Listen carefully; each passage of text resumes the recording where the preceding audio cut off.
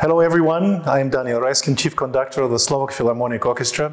We have just returned from a very successful tour of Germany and Austria where we performed both Brahms piano concertos with the wonderful Alexei Volodin and also Beethoven 7th and Dvorak 8th Symphony. This week, Thursday and Friday at 7 o'clock in our beautiful concert hall Reduta at the Slovak Philharmonic, we are going to perform for you part of this two program, Brahms' mighty D minor concerto and a wonderful uh, jovial symphony number 8 by Dvorak. So you are all welcome to join us this Thursday and Friday at 7 in Reduta.